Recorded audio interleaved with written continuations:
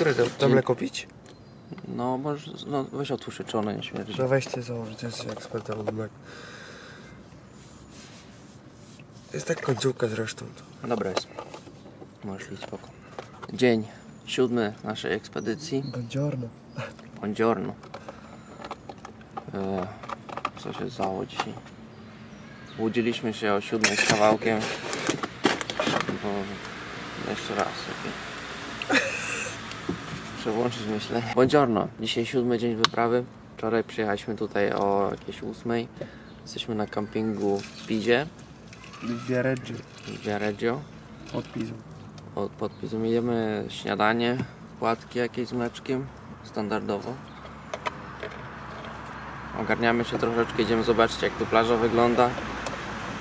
Potem zbieramy, składamy namiot, Jedziemy do Pizu. zawijamy się, idziemy do Pizy, podpierać krzywą wieżę.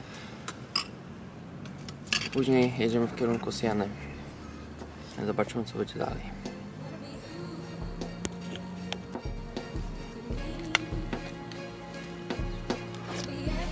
Mmm, bella fantastica.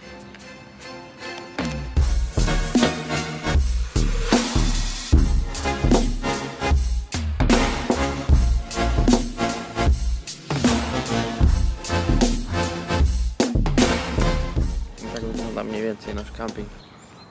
Tam z tamtej strony, za tymi domkami, są pola dla kamperów. Dość spory ten camping jest. I tam za tymi żółtymi jest jeszcze mm, taka hala z łazienkami i z prysznicami i z, pral, z pralkami. Kampery są za budynkami. Nie tutaj. No to powiedziałem tak.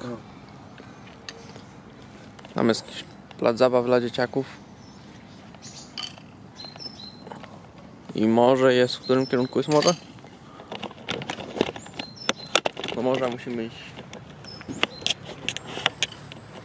w tamtym kierunku.